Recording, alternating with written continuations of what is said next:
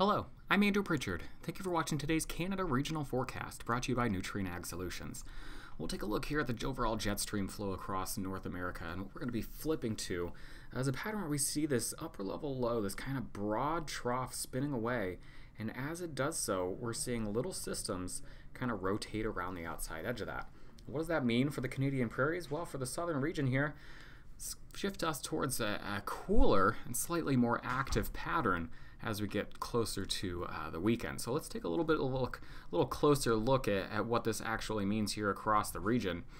Starting off here on Tuesday, we're looking at the European model here, the forecast precipitation type and surface pressure. As we begin, we see a little low across, uh, you know, northern Manitoba. I would call that with some light rain shower activity possible across northern Manitoba and northern Saskatchewan. Sorry, that low is sitting over northern Saskatchewan, not Manitoba. It swings into northern Manitoba as we get into the overnight and continues to push east out of the region. Now we remain pretty quiet across high production regions here, you know, of the southern prairie region uh, until we get closer to the weekend. And it's as we get into Friday night, we start to see a storm system beginning to develop across uh, the northern plains of the U.S. and the southern prairie here of Canada. Starting to see some snow across parts of uh, Alberta here, seeing some snow in southern Alberta, maybe some light snow, light wintry mixed precipitation across southern Saskatchewan. As we get into the day on Saturday, starting to see that precipitation continue uh, in relatively disorganized fashion. Uh, but it's like a multi-day stretch here where we could see the potential for precipitation, but it's not going to be uh, that it rains or snows for two or three days straight.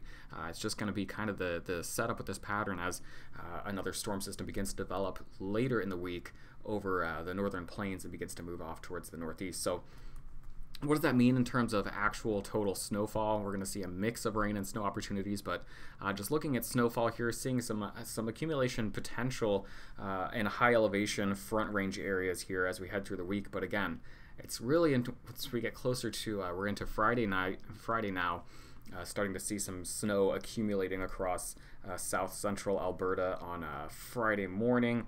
And then as we get into the later part of the weekend, getting into Saturday morning now, starting to see that snow accumulate uh, across the uh, the Canadian Prairie region here. So it's a Friday, Saturday, Sunday thing with uh, a patchy potential for accumulating snow across this region here. Again, from southern Alberta into southern Saskatchewan and maybe far southern Manitoba. But Manitoba looks like it might miss out on this one. So again, it's not snow for everyone, it's snow for some.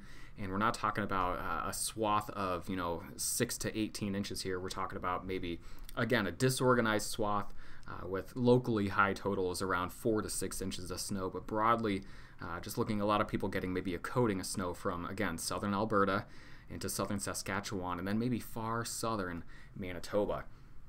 Total liquid precipitation from this one again, it's it's mostly along and south of Highway 16 here, uh, stretching from Calgary uh, into southern Saskatchewan and far southern Manitoba. This precipitation up here, this falls midweek. This is your Tuesday into your Wednesday uh, precipitation. To the south, this is our Friday, Saturday, Sunday precipitation. So uh, central regions here, look at that, northern Alberta, central Saskatchewan into uh, southern Manitoba. That's the region where uh, perhaps we stay mostly dry. So in this region here, maybe cutting in between these two storm systems uh, towards the north. Remember, this is early week. Down here, this is Friday through Sunday. Wanted to write Monday there, but so kind of split there. Early to midweek in the north, late week looking across the south and the central part, maybe missing out. Closer look here at Alberta before we talk about high temperatures again. Uh, look at that northern Alberta, maybe staying mostly dry. It's looking like southern Alberta. That's where the heavier precipitation is going to be, and most of this falling late in the week. High temperatures, you'll see the cooling trend as we play this out. The upper teens, close to 20 degrees across southern Alberta as we uh, look at our Tuesday high temperatures.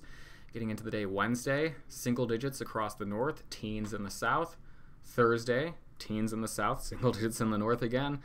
Friday, now we're starting to see the impacts of that trough swinging systems through, and then Sunday, really, uh, this is when we're talking about seeing some accumulating snow across this region, and there are high temperatures reflect that sub zero on the front range, single digits widespread elsewhere.